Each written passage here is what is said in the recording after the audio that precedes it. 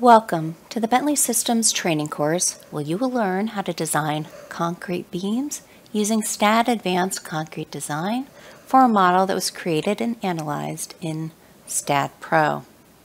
In this particular video, we're taking a look at some of the results that are available after a beam design is performed.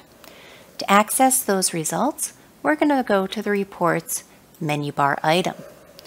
Now, several different pieces of results, including design calculations and schedules and drawings, are available in this area of the program. And we're going to go ahead and walk through several of those different results so you can see what we're able to produce after a design is performed. The first option we're going to take a look at is the text schedule. We're going to click OK for all beams and proceed. Here you can see that a full text schedule has been available in a drawing format. This drawing can be saved in both MicroStation or AutoCAD for use in your contract drawings.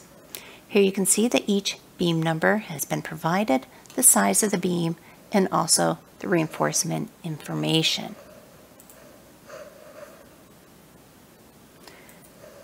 Next, let's go ahead and take a look at some elevation and section drawings. To access this, let's go to the Reports option and click on Elevation and Section. Now for the sake of time, I'm going to go ahead and specifically work on beam group 1. I can create an elevation and also some cross-section information.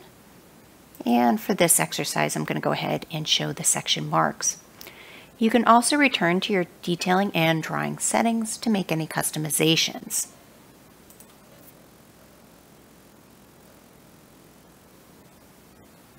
Here we can see an elevation and sections were provided for beam design group 1. We'll be able to see the elevation and then the section marks which correspond with the section marks within the elevation. Let's go ahead and also take a look at some of the reports that are available. We're going to return to the reports menu bar option and let's go ahead and select the bill of quantities.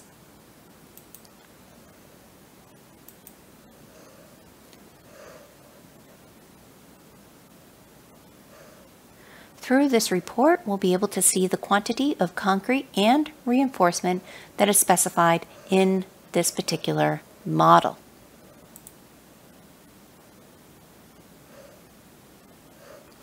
Next, let's go ahead and take a look at some of our calculations. If we return to the report menu bar option, we can go with either design summary or full design calculations. Again, for the sake of time, I'm going to select just one design group for this video.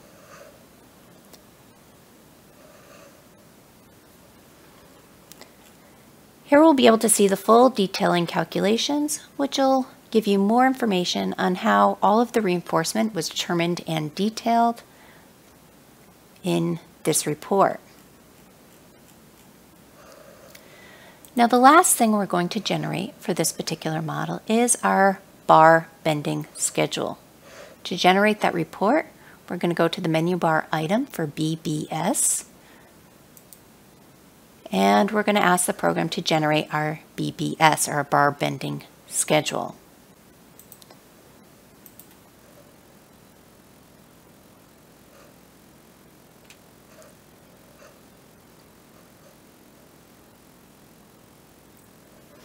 Here we'll be able to see each beam group that we selected through that process and we'll be able to zoom in on their particular bar bending schedule.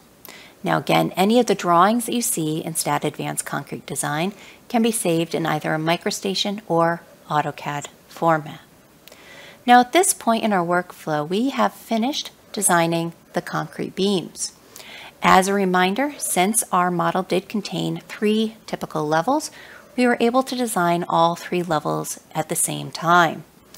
If you don't choose to design all your levels at the same time, you could then move on to the next level you're working on.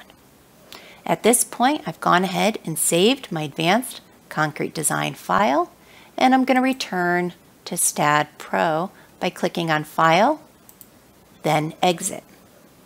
My STAAD Advanced Concrete Design model will be closed. It has been saved, and now I'm back in my STAAD Pro environment where I could proceed on with my workflow.